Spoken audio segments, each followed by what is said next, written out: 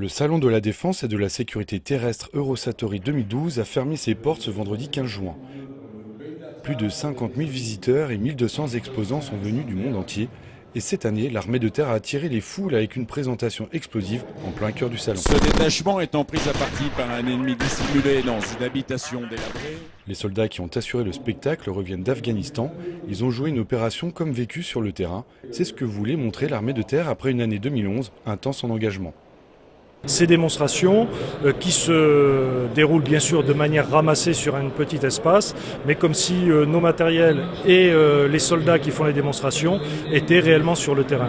Et il était important de montrer aux délégations et au public qui passe sur le stand justement le savoir-faire à la fois technique et mais également les savoir-être de l'armée de terre grâce à la qualité de nos soldats dont certains étaient encore voici deux mois déployés en Afghanistan semble vraiment intéressé par, le, par notre équipement. On provoque beaucoup, beaucoup de curiosité chez, chez les gens, que ce soit chez le producteur français, que ce soit chez, chez les étrangers. Donc il y a beaucoup de questions à répondre. C'est vrai qu'on se sent vraiment au centre de l'intention. Le chef d'état-major de l'armée de terre, le général d'armée Rakhmadou, est venu voir ses troupes. Il a salué et félicité tous ces soldats acteurs d'un jour pour cette mise en scène exclusive.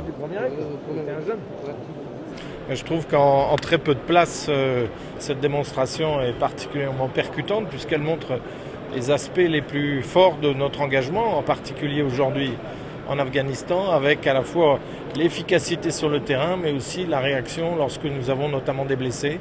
Et là, on voit bien que toute la chaîne est, parfaitement illustrée, euh, encore une fois, dans un délai réduit, dans un espace euh, fortement contraint.